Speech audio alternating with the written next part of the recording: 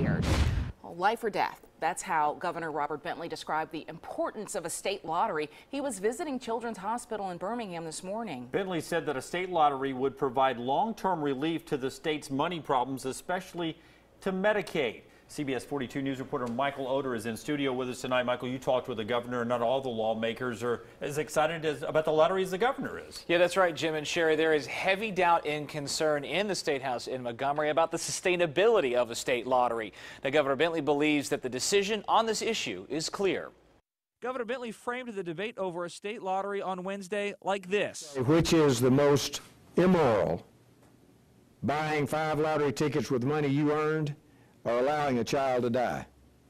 I don't think there's any choice there. It's the last choice Bentley says the state has. The governor toured the cardiac ward at Children's Hospital in Birmingham.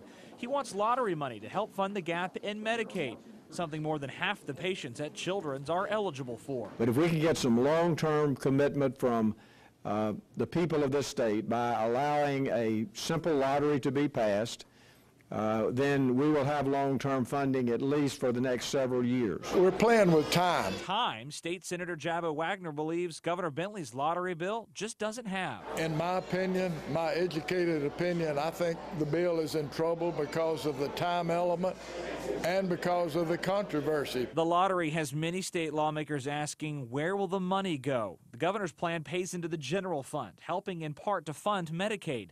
Another proposal by State Senator Jim McClendon pours money into Medicaid and education.